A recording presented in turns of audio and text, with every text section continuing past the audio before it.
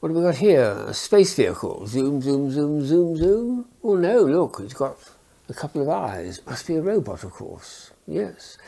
But it's more than just a robot, it's got a huge gyroscopic wheel here. So it's a, actually a very nice robotic gyroscope.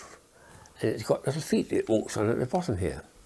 So I'll just turn it on, which takes a bit of time. It's got three AAA batteries in it, which I put in. And now ever so slowly, you can hear it speeding up.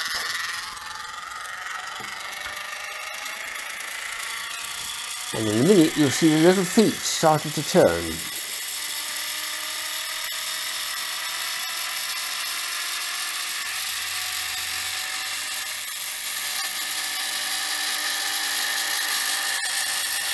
Wow.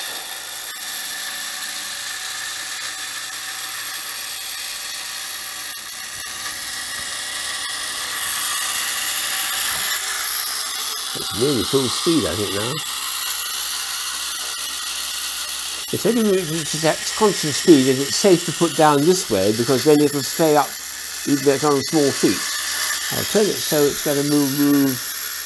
That's right, it'll walk towards you here. Very slowly with his feet, very, very slowly. Tremendous gear reduction. This is going at huge speed, and those feet are going really slowly and carefully.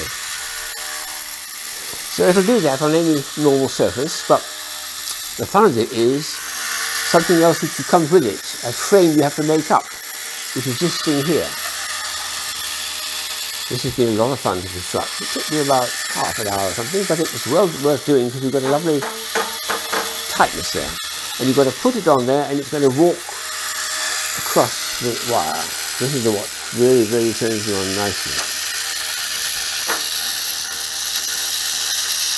There's two little legs in there, and those little legs in there, and he's off.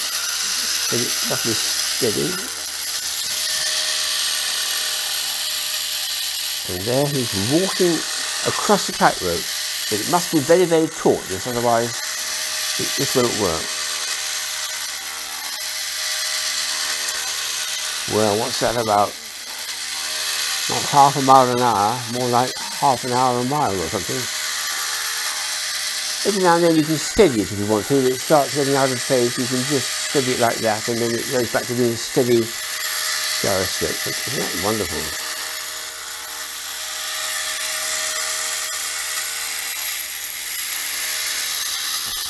When you reach the end, you turn around and go back again.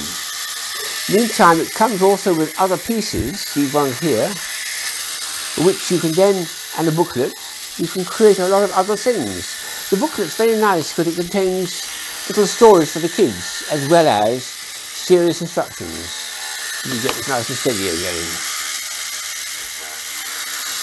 So after you've finished playing with this frame, what you can do is create one of these frames here with a gyroscope without the feet on it and make him perform there. You hang him from this bit of string, you've got plenty of length, lengths of string in it, and make him hang around, which is something that I always like doing with gyroscopes.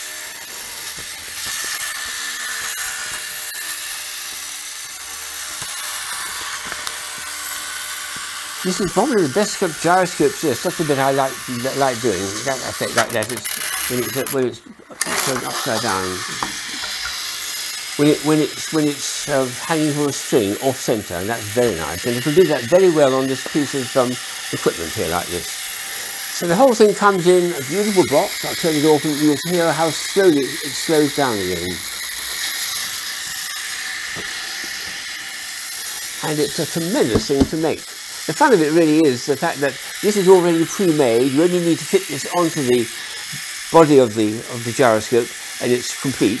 This is the one that takes a little bit of time and fuss, but well worth doing because when you've got a, a good a good track and good tension in there, it does a lovely action of walking across there.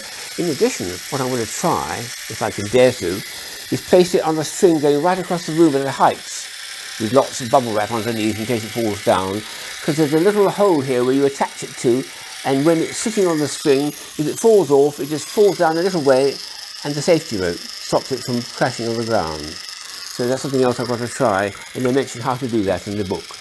But it's quite fun just to see even though it's only two inches high, three inches high on, off the ground there, but to have it going across the room at about six foot high, that would be something else. I really want to see that, so I must pursue that. Plus these other little effects there, and I think that is probably the, the best made gyroscope I've ever heard. It's, it's so beautifully engineered and, and so beautifully balanced as well.